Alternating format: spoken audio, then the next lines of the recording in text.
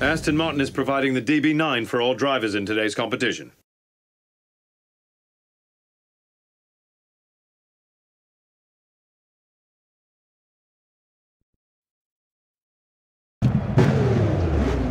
We got uh, 10 seconds to start. This is it. All about the driver. So show them what you got.